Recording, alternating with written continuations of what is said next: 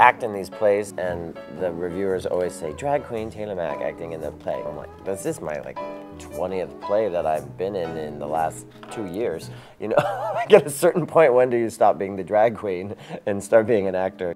Is there cra- there's craft services? Oh my god, I love it. What'd you make, machine? I didn't call you. So I'm sorry, I forgot your costume at home. I found this on the street on the way here.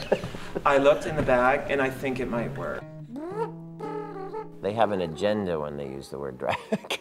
so when a drag queen calls me drag, they, they've got an agenda. They're saying I'm their sister. If a critic says I'm a drag queen, it's because they're trying to say, ooh, this work is downtown or edgy. At the same time, I want to honor the tradition of drag. I love it. Drag is um, whatever you choose to wear that day. You know, you're in your work drag over there. This is just drag for the stage. I do believe that every day that everyone is always performing at all times. It's just some people understand the craft of it and some people don't.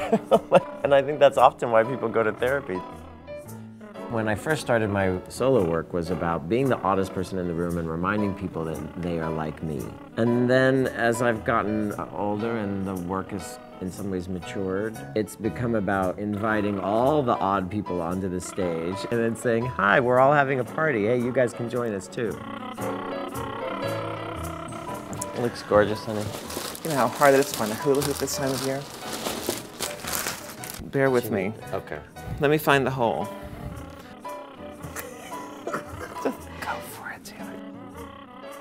You know, you really have to trust your collaborators, so they're not going to make you look like a fool. I mean, really. Mm-hmm.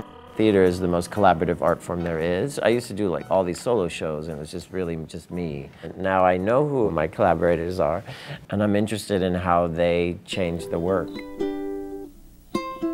Penny Arcade says a queer is not a gay or straight, but a person who was ostracized by society to such a degree as a young person that they couldn't possibly ostracize anyone else. And I always think about that in terms of wanting to create work that invites everybody into the room, and so that is about making a community.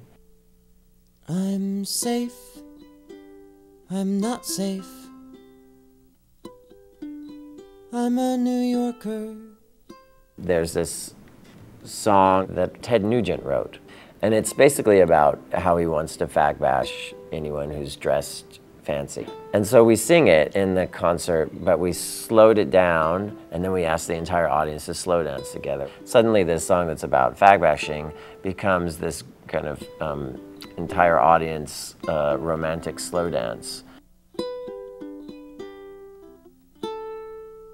I'm a New Yorker.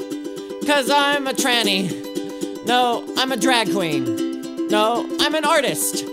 Or maybe I'm not. My job as a theater artist is just to remind people of what they've dismissed, forgotten, or buried. Performance, it's not about only pleasure. It's actually about ritual and sacrifice. You have to go through something as an audience member. It means that you will be uncomfortable, and that's okay. You'll also be taken care of.